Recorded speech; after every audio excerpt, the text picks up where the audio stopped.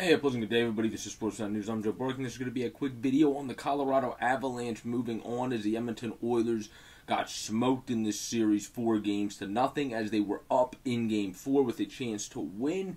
But they uh, Avalanche ended up coming back.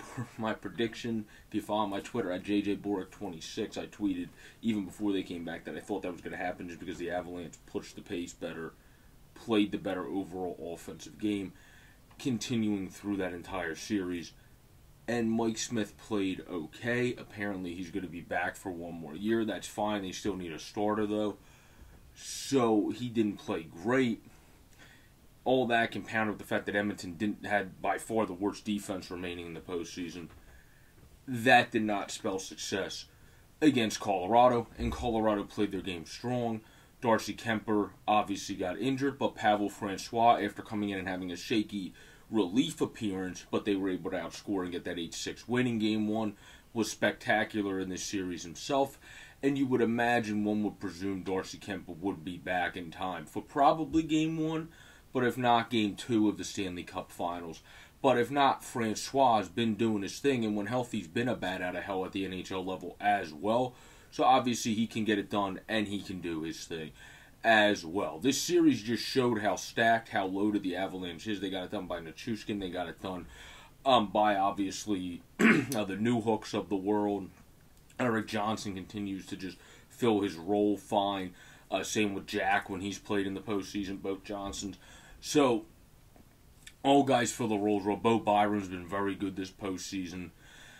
I think this team is definitely a team that's made the good moves. Lehkonen was worth the pick because you're worth giving up those assets. I was talking about that with my great friend Zach that wrote for Nitty Gritty for a bit. It's worth giving up those assets when your team in the position of Colorado. If your team in the position of Flyers, of course you're not going to give up a damn first round pick for Artturi Lehkonen because you're not close to competing.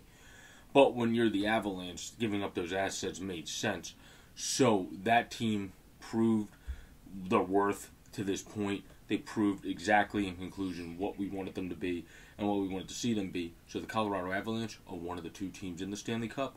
I firmly believe the New York Rangers. Pirlo believes it's going to be Tampa Bay making a comeback. I believe it's going to be the New York Rangers. I wonder what Steele believes. We have to see um, if he says anything, but as well as John and Payton. But I believe the Rangers are going to still win that series. I don't think. I think Tampa got lucky, and it was because the Rangers gave them one too many power plays. Otherwise, they would have been down uh, three games to nil in this series anyway. I don't think Tampa even played a good last game. So I do think Tampa will win that, or excuse me, Tampa will lose that series and lose tonight as well. And the Rangers will win that series. But great job by the Colorado Avalanche. Great job picking up and playing great defense after game one in front of your backup netminder, who also played great in net and was a star of the series. Nathan MacKinnon, of course, needs to be a star of the series. And then Byram and Makar. Makar first, but I think you have to throw Byram in there. He was calm, cool, collected. He does all the things right. Makes some nice head fakes to be able to get open and make passes, even though he might not have the points of the others, like Cale Makar and Nathan MacKinnon, obviously, and Rantanen, etc. He's a pivotal force. Obviously, we have to follow the Kadri injury going forward because he's a pivotal force for the Avalanche as well. But with their depth and the conference of the world, I'm not too worried about that. But anyway, great job by the Colorado Avalanche. They will be seen in the Stanley Cup.